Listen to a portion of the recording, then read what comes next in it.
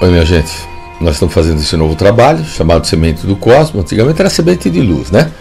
Agora nós estamos fazendo o trabalho Semente do Cosmo, enganjados na luz. É, esse é o tema agora.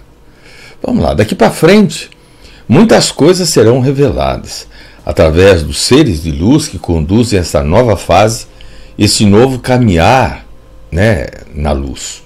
É.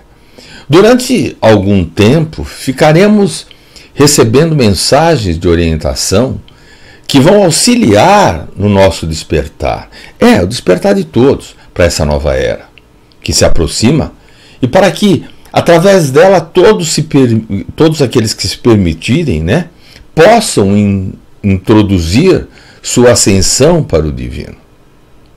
Todos nós, minha gente, somos seres divinos. Somos filhos do Criador que vem desde então, conduzindo, direcionando o nosso desenvolvimento para cada fase que necessitamos passar e nos formarmos seres de luz. O divino, com a sua sabedoria transcendental, sempre esteve e sempre está por trás da nossa história, das nossas caminhadas na jornada da Terra, colocando-nos sempre como parte dela. E agora, dando com continuidade, nos encaminha para seguir junto a era, né?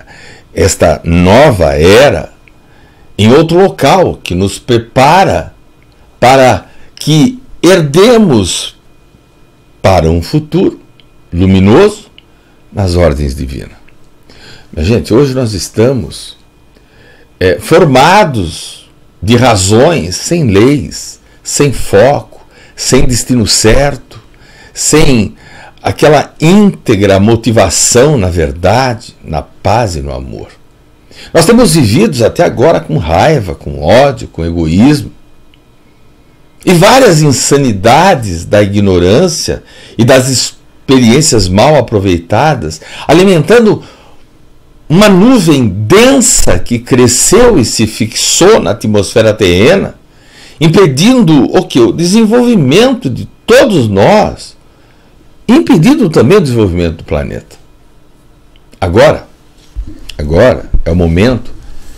Eis que chega a era da caridade, da verdade, da luz, onde tudo será mostrado e evidenciado. É a era da claridade, a era da regeneração. Tudo vai ser claro para que não haja dúvida e todos possam ser realmente iguais em suas condições de vida e oportunidade.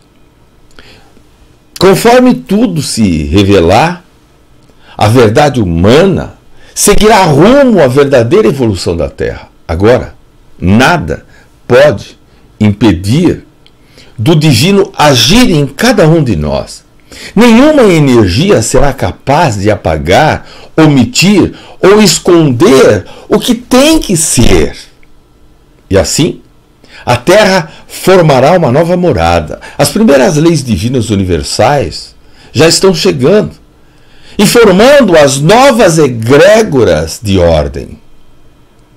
Tudo iniciará através das revelações que, inclusive, já estão acontecendo em seguida, virá a organização, a disciplina, o respeito de igualdade. E por aí outras virão.